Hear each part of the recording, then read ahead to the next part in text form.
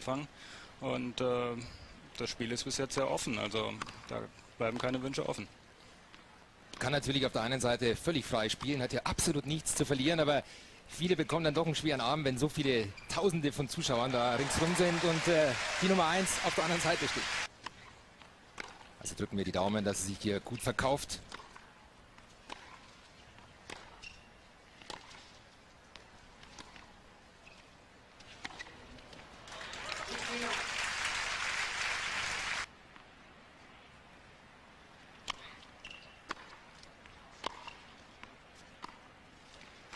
Klasse, Ballgefühl hat sie.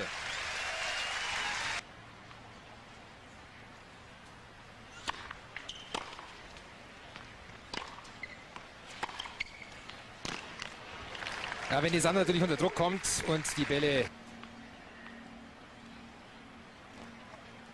Habt ihr mit äh, Sandra da im Vorfeld ein bisschen reden können über die Partie?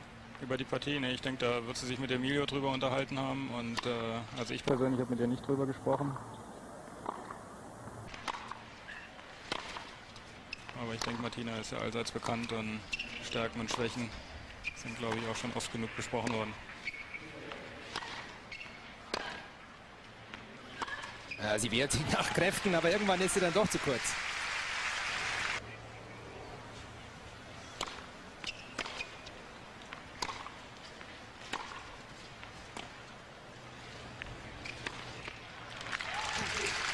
Ah, ein bisschen Stopp mit Ansage. Ja. Deswegen wird sie auf der Seite immer den kürzeren ziehen.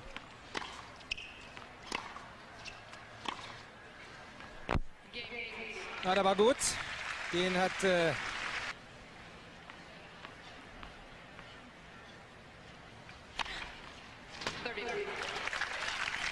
die Auswahlfavorite.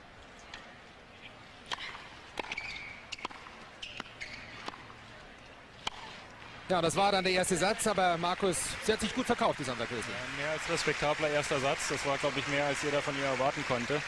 Ähm, sie ist, wie gesagt, gut ins Spiel reingekommen, hat das fortgesetzt. Ja, das war fantastisch. Also das war eigentlich die konsequente Fortsetzung von den Leistungen, die sie in den ersten zwei Runden hier gebracht hat. Sie hat auch in den letzten Wochen schon, schon wirklich gute Spiele gemacht, äh, hat auch ein sehr gutes Match gegen Davenport gespielt, das sie dann leider knapp verloren hat.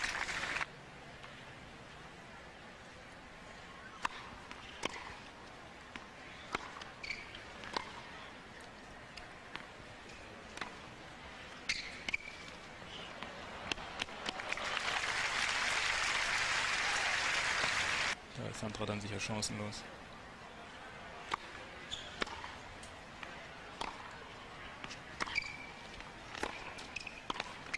Ja, klasse. Martina Hingis ist natürlich auch... Vertrauen geben wie ein, äh, wie ein Sieg gegen eine Spielerin, die irgendwo in der, in der Nähe der eigenen Rangliste steht. Und äh, deswegen, das sollte einfach das Ziel sein, hier ein gutes Match, zu besetzen.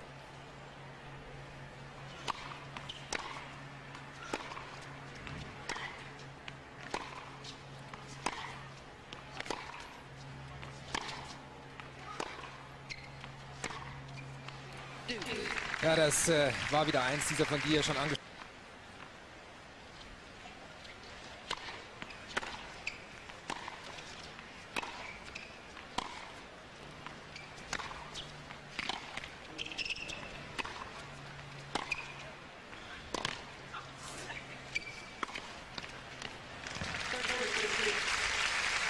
Weitere Chance für Hingis.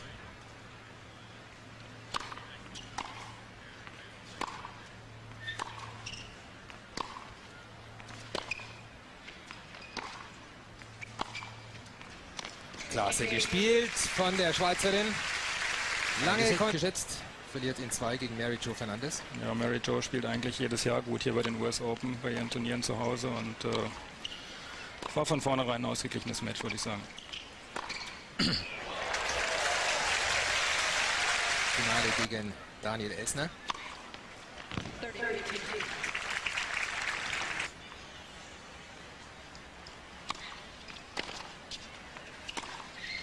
Äh, Als drückt Tinkis vehement aufs Tempo. Das war eben so eine Rückhand, sie ist dem Ball einen Meter entgegengegangen, ins Feld rein, ist voll durchgegangen und äh, das ist sehr gut. Ist aber nicht äh, die Regel bei ihrer Rückhand.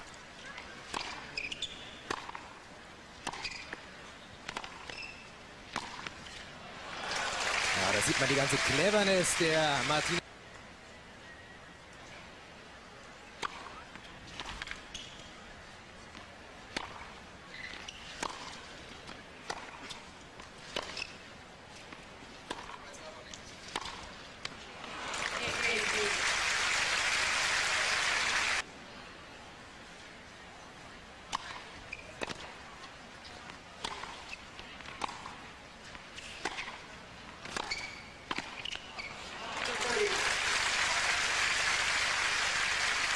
Hat, sie, sie, agiert jetzt wesentlich mutiger, sie geht jetzt auch nach vorne und äh,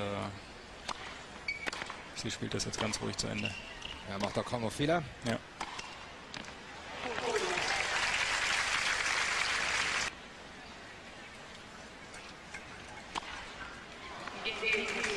Jetzt läuft's bei der Weltranglisten.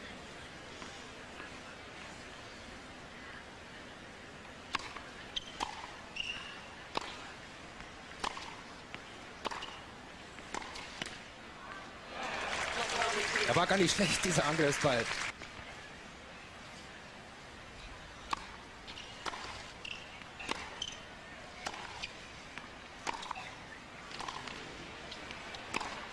Super. Aber hier man hat gesehen, wie gut die Vorhand ist, wie, wie, viel sie mit der Vorhand machen kann. Und wenn die Beinarbeit dazu passt, dann, äh, dann ist sie unglaublich gefährlich auf der Seite.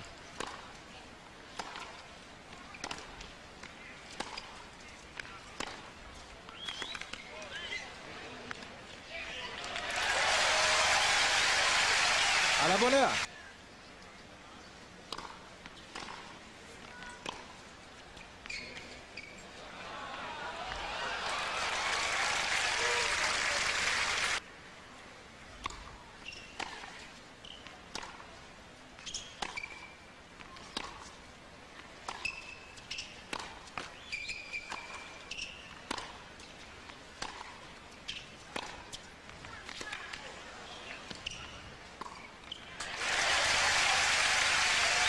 Weiterarbeitet und äh, die richtigen Turniere spielt, wird das auch Stück für Stück nach vorne gehen.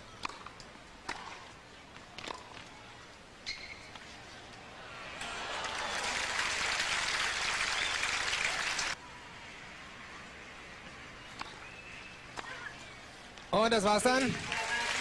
Nach einer Stunde und einer Minute Spielzeit setzt sich Martina Hingis wie erwartet durch.